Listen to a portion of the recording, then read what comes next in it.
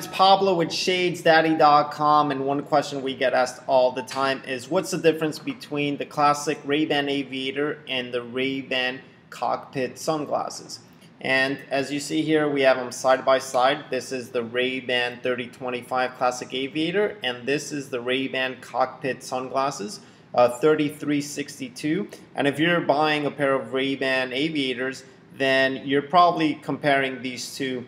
And let's point out some of the main differences which um, really make the biggest difference uh, between these two frames is really the lens size they come in and the shape. So to start out with the shape, as you see, the Ray-Ban Classic Aviator has the teardrop design, um, which makes a huge difference in terms of the look of the frame. And the cockpit, the 3362, um, is more of a squarish type of aviator. As you see, it's not as uh, what they call teardrop design as an aviator look, but still maintains a aviator style. Uh, the other big difference is the size they come in. Uh, the Aviator comes in a 55, 58, and 62, so three different lens sizes, and the cockpit comes in a 56 and 59 millimeter lens size.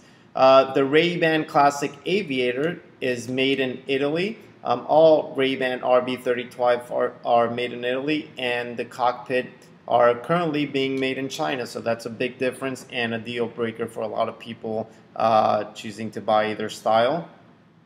Um, they both have the same nose pads, uh, same material and all that stuff. People ask all the time. Um, that all stays the same. Again, to just one thing to make clear, while they may be, may uh, be uh, made in sorry in different places, they still have the same exact materials and made of the same thing, which is a metal frame, and the quality is just as good. It's just made in a different place. Another big difference in design of these two is the classic Aviator. As you see here, the bridge is a straight bridge but on the cockpit it's slanted downward and I'll zoom that in so you could see here.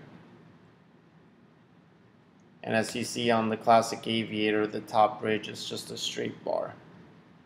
And those are pretty much the main differences. If you're watching this video on YouTube you'll see on the description there's a link which takes you to a blog post where we compare. And if you want to shop of course shop for these at shadesdaddy.com where you'll also see links on the description to do so